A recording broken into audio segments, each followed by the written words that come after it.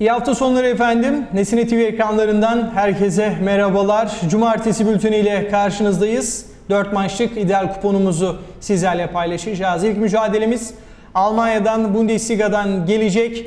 Bayer Leverkusen ligin yeni takımı Darmstadt 98'i ağırlayacak. Bayer Leverkusen'e baktığımız zaman en son Bayern Münih'le karşılaştığını ve kaybettiğini görüyoruz. Bayern Münih deplasmanda e, kaybetmesini açıkçası normal karşılıyorum.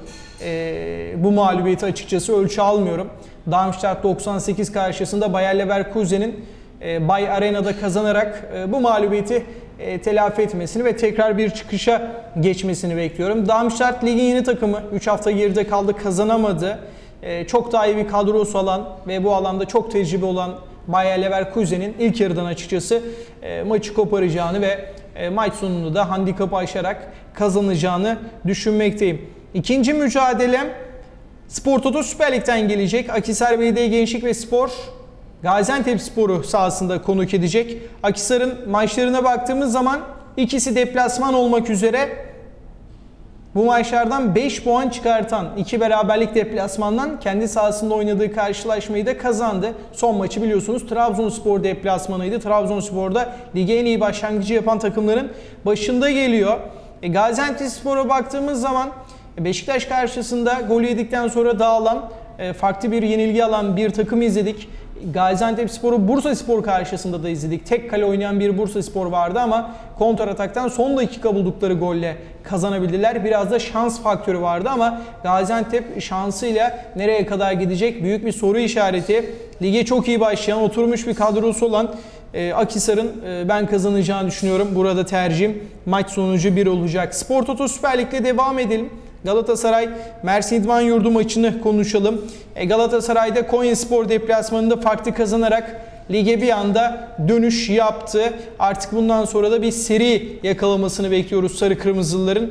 E, Mersin İdman Yurdu biliyorsunuz transfer yapamadı. Kısıtlı kadrosuyla lige başladı ve 3'te 0'la bir giriş yaptı. Bu görüntüleriyle Galatasaray'dan puan almaları oldukça zor görünüyor. Yine ilk yarıdan ve handikapı ile Galatasaray'ı kuponlarımıza yazacağız. Oranı biraz daha yükseltmeye çalışacağız. Son mücadelemiz ise Hollanda Ligi'nden gelecek. Kambur PSV Eindhoven'la oynayacak. Kambur'un ligde geride kalan 4 maçı var. İlk hafta berabere kaldı. Ondan sonra çıktı 3 maçı da kaybetti. Geride kalan 4 haftada henüz 3 puanla tanışamadılar.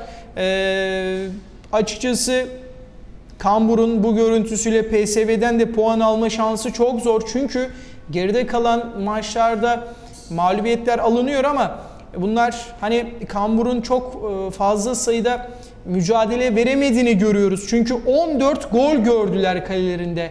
Alınan yenilgilerin tamamı farklı yenilgiler, ağır yenilgiler aldılar e, ligin kalesinde en fazla gol gören takımı konumundalar.